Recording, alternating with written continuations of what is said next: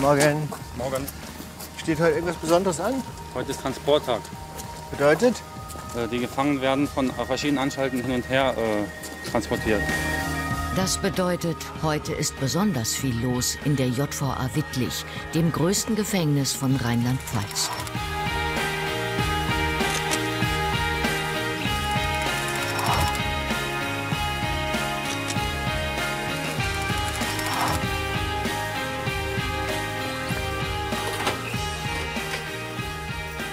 Die Frühschicht beginnt für den Vollzugsbeamten Manfred Behringer morgens um Viertel vor sechs mit der sogenannten Lebendkontrolle.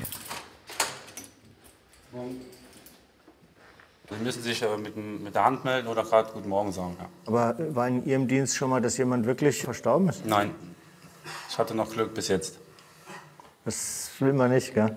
Genau, aber das wird man bestimmt in seiner Dienstzeit erleben.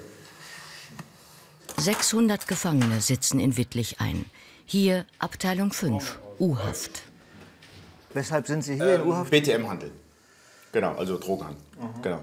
Also ich habe schon die Haft, ähm, das Urteil bekommen, das sind acht Jahre, weil es, äh, ja, es war etwas umfangreicher bei mir und äh, Waffen waren im Spiel, solche Dinge. Ich habe mich jetzt damit abgefunden, deshalb, äh, und ich bin generell ein positiv denkender Mensch. Manfred Behringer ist einer von 400 Bediensteten in der JVA Wittlich, dem größten Arbeitgeber in der Gegend. Wie seine Kollegin Anna-Maria Luca. Die ehemalige Arzthelferin kümmert sich am Morgen um drogenabhängige Gefangene. Guten Morgen.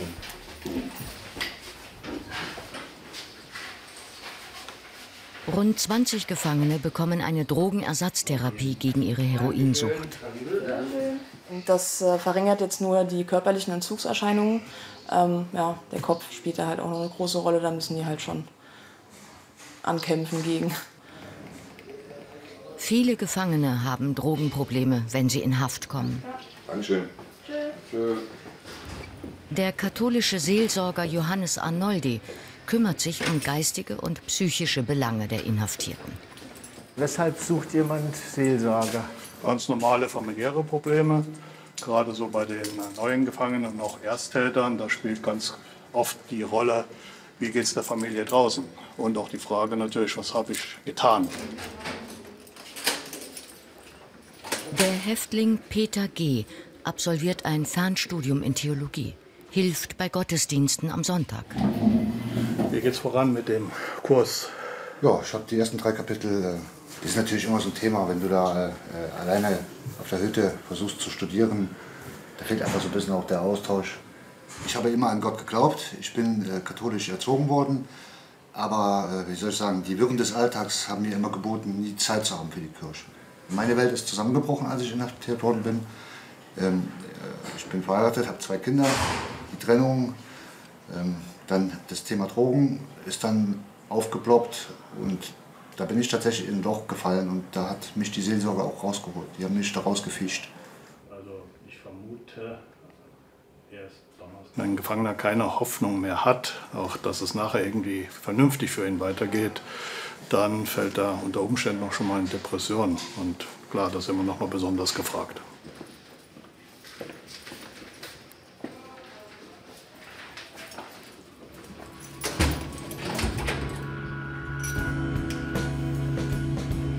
Manfred Behringer bringt eine Gruppe Gefangene raus zur Arbeit. Zwischen 15 und 20 Euro verdienen sie am Tag, je nach Tätigkeit und Vorbildung. Und es bietet die Möglichkeit, für ein paar Stunden die Zelle zu verlassen. Zunächst umziehen. Jeder Gefangene hat seinen eigenen Kleidersack, bekommt Arbeitskleidung. Bei den Schuhen gehen wir von 37 bis Größe 50 gehen wir mit. Ja, ist äh, selten, aber man braucht schon mal. Die Kleidung wird verplombt bis zum Abend, denn diese Gruppe arbeitet außerhalb der JVA, in der nahegelegenen anstaltseigenen Gärtnerei.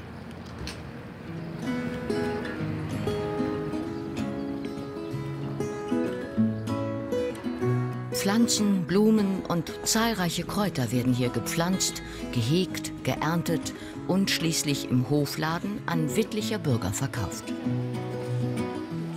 Jutta Bollig ist die Chefin hier. viele haben dort schon so eine Hemmschwelle und sagen, okay, ja, Gärtnerei ist ja eigentlich, hm, naja, ist ja nicht so das, macht daheim meine Frau. Und, ähm, aber man merkt dann schon, wenn die mal eine Zeit lang hier sind, ist das und die sehen, wie es wächst, die säen aus und sehen, ähm, wie die Pflanzen wachsen. Und dann merkt man schon, okay, ähm, also es spricht die schon an, die sind dann schon begeistert. Nicht nur Blumen und Kräuter, auch Kartoffeln, Gemüse und Eier gibt es in dem kleinen Laden zu kaufen. Danke. Tschüss. Danke. Das wird alles in der Anstaltslandwirtschaft produziert. Gefangene aus dem offenen Vollzug wie Carsten P. arbeiten hier mit Landwirtschaftsmeister Rainer Arendt zusammen. Hier haben wir 0,6 Hektar Kartoffeln gepflanzt. Oberhalb sind die Speisezwiebeln, rot und weiße. Dann sieht man da die Möhren. Dahinter sind die dicken Bohnen. Und hier rechts rüber sind alles Buschbohnen. Aber das Ungewöhnlichste sind wohl die 500 freilaufenden Hühner, die hier gehütet werden und täglich frische Eier liefern. Made in JVA Wittlich. Carsten sitzt wegen Betrug und Körperverletzung. 21 Monate. War das die erste? Haft? Die dritte. Die dritte Haft? Ja. Dann, äh, das ist auch das letzte Mal. Dreimal reicht auch.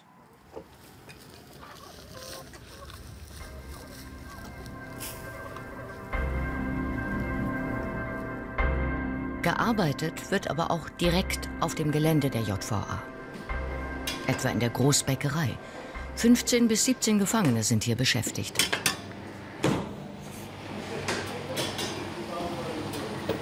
Wir produzieren äh, ca. 800 bis 1000 Brote am Tag. Noch so zwischen 500 und 1000 Kuchen. Äh, 1500 Brötchen die Woche. Und je nach Bestellung ein Teilchen. Berliner Donuts, äh, Quarkbällchen. Kommt immer so ein bisschen auf die Bestellungen an.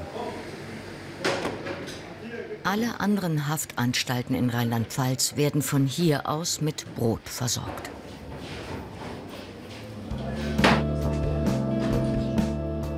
Außerdem gibt es eine eigene Polsterei.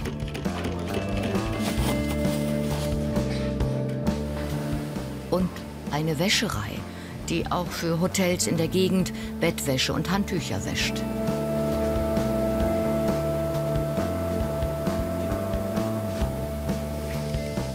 In der Schreinerei arbeiten weitere 10 bis 15 Gefangene. Vorkenntnisse sind hilfreich. Ich habe Zimmermann gelernt. Deswegen liegt mir nah, mit dem Holz zu arbeiten. Und dann war ich recht froh, dass ich hier in die Schreinerei gekommen bin. Von Gartenmöbeln bis zum Carport wird hier alles geschreinert. Sebastian Schell ist seit anderthalb Jahren in der Ausbildung zum Vollzugsbeamten. Ich bin jetzt schon immer überzeugt davon, dass ich hier den richtigen Platz gefunden habe und hier macht es auch Spaß. Wir haben ein super Umfeld hier mit den Kollegen und äh, auch der Umgang mit dem Gefangenen, äh, mit dem Gefangenen zu arbeiten, zu behandeln, macht einfach Spaß. Und äh, ist auch jeder Tag nochmal was Neues, da passiert immer was Neues. Praxis und Theorie wechseln sich in der Ausbildung ab. Der Hofgang steht an. Immer wenn Kontakt zu Gefangenen besteht, tragen die Beamten dieses Personennotrufgerät, kurz PNG. Hier bei dem PNG haben wir einfach die äh, drei verschiedene Funktionen. Das ist einmal die Funktion hier mit der Abrissschnur. Ja? Das heißt, wenn die entsprechend abreißt, ähm, geht ein Alarm durch an die Sicherheitszentrale. Genauso wie bei dem Druckknopf, hier den roten. Und da gibt es noch einmal den sogenannten Lageralarm. Und bei dem Lageralarm ist genau das gleiche Spiel. Wenn ich beispielsweise auf der Seite irgendwie liegen sollte, ja, und dann äh, wird die Sicherheitszentrale das schnellstmöglich mitbekommen. Können Sie uns erzählen, bei was Sie es schon mal benutzt haben? Ja, da ist ein Gefangener auf mich zu, ja. Es entstand eine Diskussion zwischen uns beiden und äh, von jetzt auf gleich ist der Gefangene dann auf mich zugekommen und dann, ja. Wie ist bei Ihnen auch schon unangenehme Situationen erlebt? Ja, auf jeden Fall. Also Diskussionen entstehen öfter und ähm, man hat definitiv erstmal Adrenalin und äh, ist dann auch froh, wenn schnell die Kollegen da sind und einem dann Sicherheit geben, aber das gehört halt hier dazu.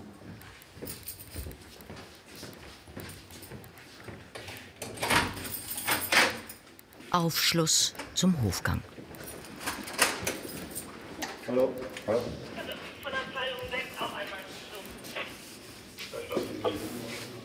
Alles klar. Ja.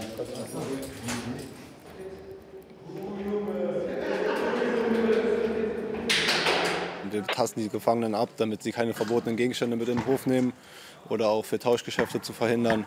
Sei es Drogen, sei es aber auch so einfache Sachen wie eine Tafel Schokolade, um Schulden zu bezahlen oder ein, äh, ein Päckchen Tabak.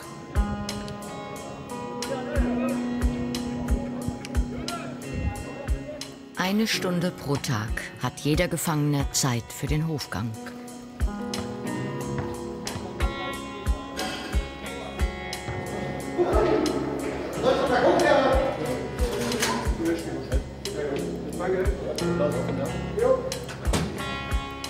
Auf dem Gelände der JVA befindet sich neben dem Erwachsenenvollzug auch die Jugendstrafanstalt. Dann stehen Sie mal gerade auf, bitte. Wenn ich jetzt zu Ihnen sage, Hurensohn, und dann? Ja, ist nichts mehr. Wie ist nichts mehr? Nee. Und ich schick deine Mutter. Guck mal hier, der kleine Wichser meint, er könnte seinen vormachen, ne? Ja, und jetzt? Und? Und jetzt? Bleibst du ruhig, auch wenn ich dich anfasse. Warum? Ich habe draus gelernt. Draus gelernt? Ja, ich habe draus gelernt. Sind Sie sicher? jeden Und wenn ich noch ein bisschen weitermache? Immer noch? Ja. Wenn ich mal so mache? Ja. Immer noch? Gut, ja. Kein Druck irgendwie mir mal. Anti-Gewalt-Training für Jakob. Zweieinhalb Jahre hat er noch vor sich wegen gefährlicher Körperverletzung. Äh, Ich war auf dem Weg nach Hause und hat mein kleiner Bruder mich angerufen. Hat gesagt, ja, dass der den einen die ganze Zeit dumm anmachen und so und schlagen und schubsen.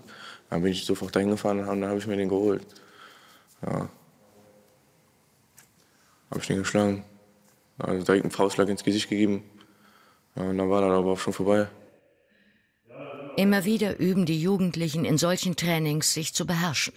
Dann wird ein extremes Stresslevel für den Teilnehmer aufgebaut, wo wir dann schauen, wie geht er damit um, hält er sich raus, hat er seine Impulse unter Kontrolle und so weiter. Die Straftaten ziehen sich oft schon seit sehr jungen Jahren ähm, wie einen roten Faden durch den, ihr ganzes Leben. Oft sind es die familiären Hintergründe, oft haben die Kinder und Jugendlichen Gewalterfahrungen schon in der Familie gemacht. Auch bei Jakob fingen die Straftaten schon mit 14 an. Hier in der Haft macht er eine Ausbildung. So wie diese Jugendlichen. Die wenigsten haben einen Schulabschluss. Viele haben vor der Haft lange auf der Straße rumgehangen. Ein normaler Tag, morgens aufstehen, bis 12 Uhr schlafen, rausgehen, essen gehen, zum Friseur gehen, mit Kumpels treffen, das war's halt. Rumhängen. Ja, rumhängen, ja. Hans-Peter Steffes weiß, eine Ausbildung bietet eine wirkliche Chance auf Resozialisierung. Hier lernen Sie ähm, zu erfahren, was es heißt, zu arbeiten. Zu arbeiten und auch Sinn in der Arbeit zu haben und auch seinen Lebensunterhalt mit Arbeit zu bestreiten. Wichtig ist auch, dass die Jugendlichen nach der Haft ein neues Umfeld finden. Ich wollte von mir selbst, dass ich ähm, in betreutes Wohnen gehe, dass ich die komplette Umkreis, da wo ich herkomme, wechsle, dass ich ähm, ja, einen neuen Umkreis bekomme und da meine Ausbildung mache. Also mir wurde schon geholfen von hier, dass ich einen Wohnsitz habe, ein betreutes Wohnen und dass ich meine Ausbildung machen kann. Oft reicht die Zeit in der Haft nicht für eine komplette Ausbildung. Aber auch eine Qualifizierung ist ein Schritt in Richtung einer besseren Zukunft. Im Jugendstrafvollzug steht der Erziehungsaspekt im Vordergrund. In Wittlich gibt es sieben solcher Wohngruppen. Das Paradoxe ist, je länger die Haftstrafe ist, desto größer ist oft die Chance auf eine erfolgreiche Resozialisierung. Transporttag. Aus der JVA Rohrbach kommen die Gefangenenbusse. Ständig werden Häftlinge verlegt oder müssen zu Terminen.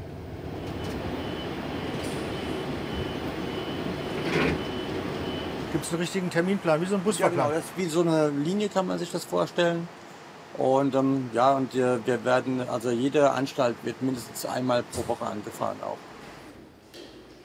Er wartet auf den Bus, muss zu einer Verhandlung nach Mainz.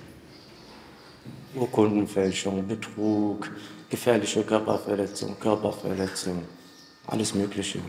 Strafregister ist voll. Die Karriere fing hier in den Jugendbau an. Genau, und ja, hier hat man sich Freunde aufgebaut. Die meisten Freunde sind alle Kriminelle. Und man kommt raus, man hat die meisten Freunde als Kriminelle und es geht immer weiter. Ja, so fängt die Karriere hier an. Genau, das ist jetzt sozusagen mein Job, kriminell zu sein.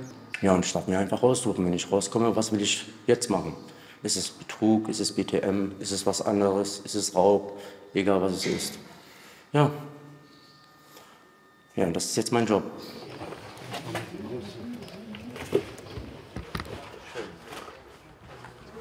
28 Jahre alt ist er. Das Urteil, das ihn in Mainz erwartet, das könnten durchaus sechs bis acht Jahre werden, meint er.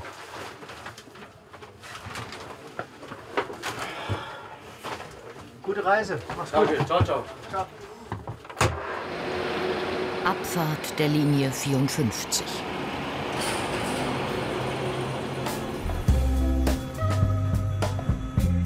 In der Haftanstalt gibt es sogar ein kleines Krankenhaus mit 68 Betten.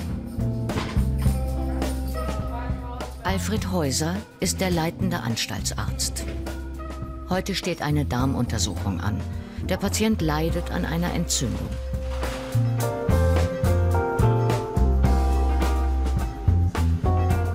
Entscheidend ist natürlich, dass man äh, mit den Menschen auch, dass man ausblenden kann, was sie getan haben. Es sind ja keine harmlosen äh, Knäbchen, die irgendwo mal ein Blümchen gestohlen haben, sondern es sind Dinge, die äh, im Hintergrund sind, die immer wieder schwierig sind. Und man muss äh, auf jeden Einzelnen eingehen, auf jeden neu eingehen. Nie über einen Kamm scheren und sagen, das sind alles Kriminelle.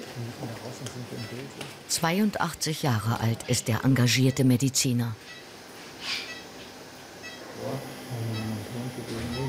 Wir haben viele Menschen, die unter der Brücke geschlafen haben, die ach, ganz arme Menschen sind. Ja. Und wenn ich dann genau frage, wie kommen sie dazu, dass sie so weit gekommen sind, da war oft, wie, welche Krankheiten hatten ihre Eltern? Meine Eltern kenne ich nicht. Ich bin in einem, einem Heim aufgewachsen. Und so geht es dann schon los. Und wenn man das mal ganz genau dann vor sich sieht, dann hat man wirklich das Bedürfnis, dem Patienten zu helfen und, und ihm das zu geben, was möglich ist.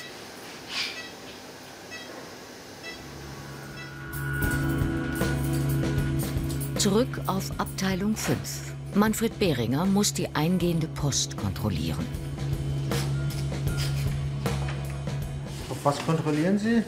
Wenn jetzt hier äh, versteckte Drogen wären oder halt äh, Sachen, die nicht in der JVA erlaubt sind.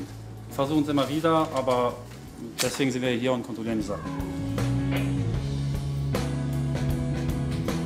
Nicht nur die Post wird durchsucht. Der Beamte Christian Weig auf dem Weg zu einer Haftraumkontrolle. Guten Tag. Ich mache gerade bei Ihnen eine Haftraumkontrolle. Dazu möchte ich Sie bitten, gerade hoch zum Kollegen zu gehen. Gesucht wird nach allem, was verboten ist. Waffen, Handys, gefährliche Gegenstände, vor allem Drogen. Die lassen sich schmuggeln, indem man Papiere, etwa Briefe, mit ihnen tränkt. Das hier sind diese sogenannten Swaps, diese Papierteststreifen. Damit wische ich zum Messen einfach über den dementsprechenden Gegenstand einmal drüber, sodass ein bisschen Substanz gelöst wird. Danach wird der Teststreifen in dieses Gerät eingeführt. Das Gerät erkennt automatisch Drogen aller Art. Weiche Drogen in Anführungszeichen, weil auch diese synthetischen Cannabinoide eine sehr große Gefahr für die Gefangenen darstellen, da bei denen die Gefahr besteht einer Überdosierung.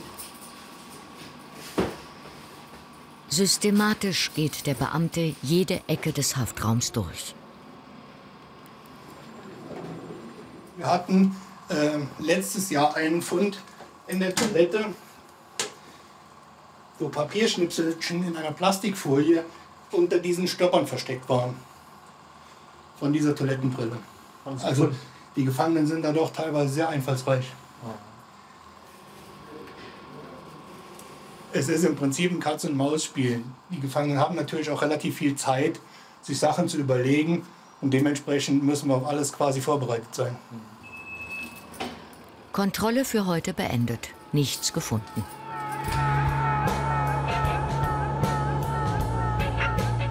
Seit 1902 gibt es die JVA in Wittlich.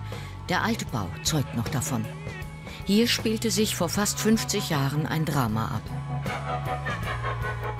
Hans-Josef Wagner war damals als Beamter im Einsatz, als in der Zelle 31 Holger Mainz, einer der Terroristen der RAF, einsaß.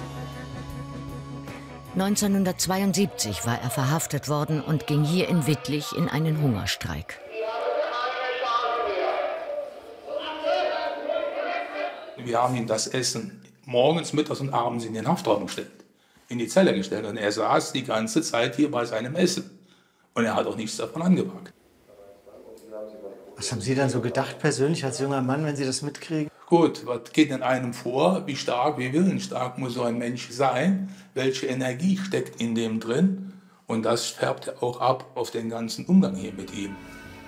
Vor der Zelle saß ständig ein Beamter. Der Terrorist hatte keinen Kontakt zu Mitgefangenen. Die Zellen neben, über und unter ihm waren leer.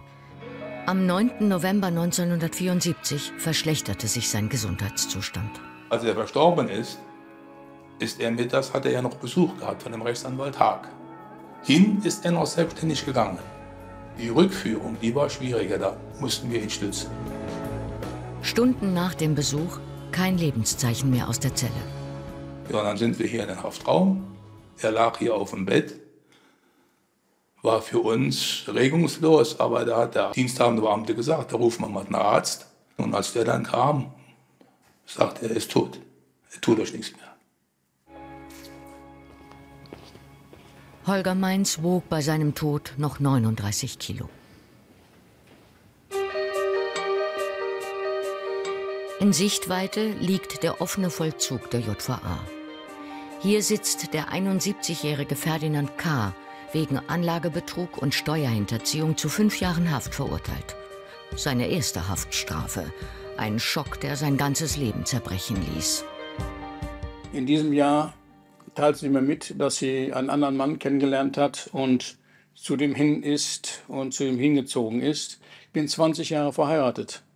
Und tatsächlich war ich dreimal in der Zeit, wie ich in einem Festbau war, war ich, stand ich nachts davor und äh, wollte mich wirklich aufhängen. Ich konnte auch einfach nicht mehr Feierabend, das war da verzweifelt.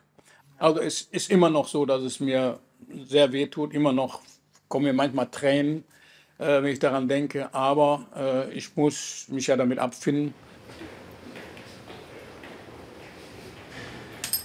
Einmal Regelausgang bitte. Ja. Dankeschön. Zwei Stunden Stadtgebiet mit verlassen, bis später. ich war schon auf. Okay. Drei Stunden Regelausgang sind erlaubt im offenen Vollzug.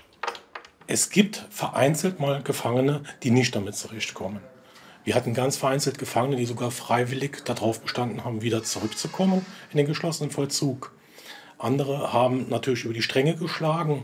Und sobald uns diese Sachen auffallen, geht es zurück in den geschlossenen Vollzug. Er gehe nicht mal mehr über eine gelbe Ampel, sagt Ferdinand K. Nie wieder will er mit dem Gesetz in Konflikt kommen. Er ist einer von 25 Gefangenen, die im offenen Vollzug an die Freiheit herangeführt werden. Ich bin mit einem Fuß quasi schon in der Freiheit drin. Und wenn ich mich anständig benehme, dann kann ich auch dann demnächst, das heißt im nächsten Jahr im Juni, komme ich dann ganz in die Freiheit rein. Haben Sie was gekauft in der Stadt? Nein, ich habe nichts gekauft. Gut. Irgendwas getrunken? das sowieso nicht. Auf gar keinen Fall. Na? Danke. Alles gut. Bis später. Ja. Tschüss. Alkohol ist streng verboten.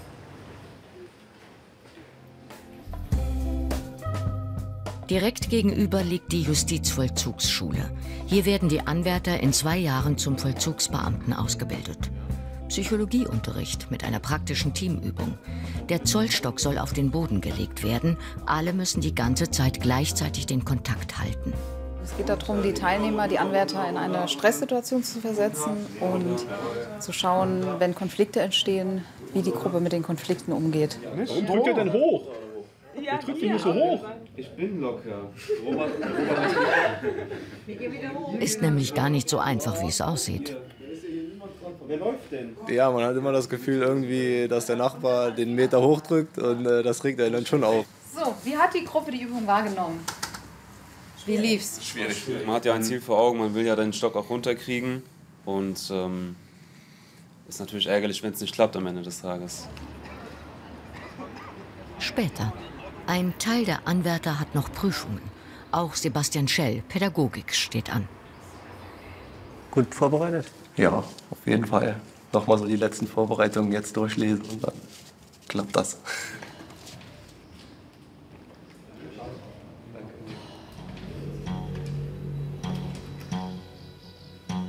Zwanzig Minuten später.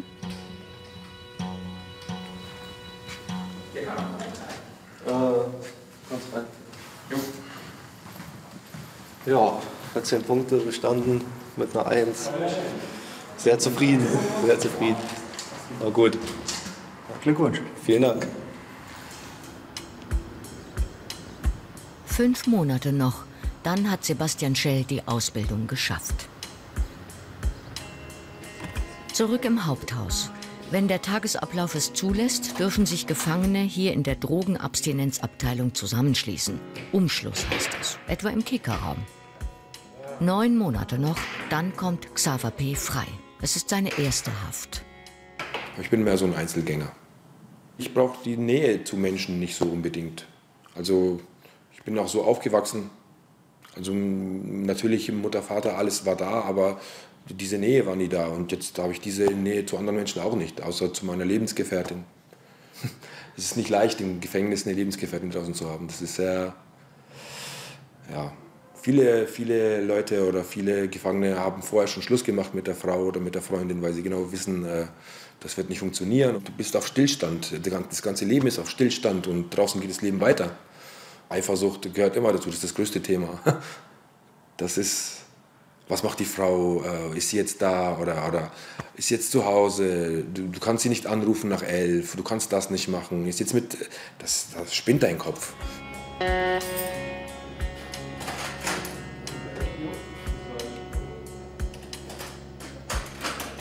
Kommunikation nach draußen, die alten Telefone auf dem Flur sind verwaist. Denn jeder Gefangene hat ein eigenes Telefon in der Zelle. Mit bis zu zehn Nummern darf telefoniert werden. Hallo mein Schatz, guten Tag, grüß dich. Na, wie war die Arbeit? War gut, ist alles gut gegangen? Bis 11 Uhr abends dürfen Gefangene nach draußen telefonieren. Was Neues zu Hause? Ja, es zerbrechen unglaublich viele Beziehungen. Auch man bekommt das natürlich auch so mit von anderen Mitgefangenen, die darunter sehr, sehr leiden, sehr, sehr psychisch leiden. Ähm, ich zum, ich zum Glück kann wirklich nur sagen, dass ich ähm, mich glücklich schätzen darf, dass meine Freundin bei mir bleibt. Wegen Fahren ohne Führerschein und Cannabisbesitz ist er verurteilt. Hm.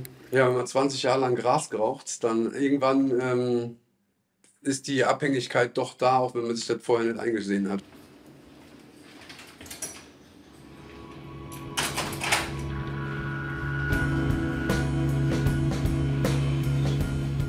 Manfred Behringer bringt einen Gefangenen zur Kleiderkammer.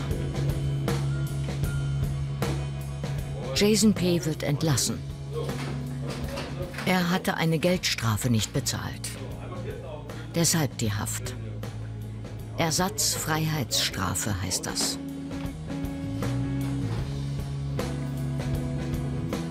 Auschecken. Draußen warten Job und Freundin auf ihn.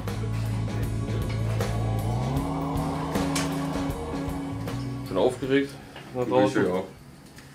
Wie lange waren Sie hier? Ich war jetzt drei, zweieinhalb Monate hier, also 77 Tage geht überschaubar und jetzt geht es erstmal wieder die Kleinen in Arm holen. Ja, das ist natürlich wichtig zu Ja. Freundin oder Tochter? Tochter, also quasi Stieftochter so. Und meine eigene. Wie alt? Die ist jetzt fünf Monate. Das erste Mal in Haft gewesen? Ja. Und es ist ein Schock? Äh, es, ist, es fühlt sich schon anders an, wenn die Türen hier hinter einem zugehen. Und dann wünsche ich Ihnen alles Gute für draußen. Dankeschön. Und dass wir uns hier drinnen wiedersehen. Genau. Ich wünsche Ihnen noch einen schönen Tag. Ja, gut. Schon wieder ein angenehmes Gefühl, hier draußen sein, sein zu dürfen. So. Sie sehen viele wieder, gell? Ja, ja sehr, sehr viele. Ähm, aber es gibt immer wieder welche, bei denen ist das so prägend, die erste Haft. Ähm, die sagen wirklich, sie kommen nicht mehr und die sieht man dann auch hier drin nicht mehr. Aber es sind viele, die haben kein Problem mit. Da, da gehört es dazu, so nach dem Motto, man hat mich mal wieder erwischt, dann, ja, dann sitze ich wieder eine Zeit lang. Und es gibt welche, die begleiten mich mein ganzes Vollzugsleben schon hier. Schichtende für Manfred Behringer. Ein ganz normaler Arbeitstag in der JVA Wittlich geht zu Ende.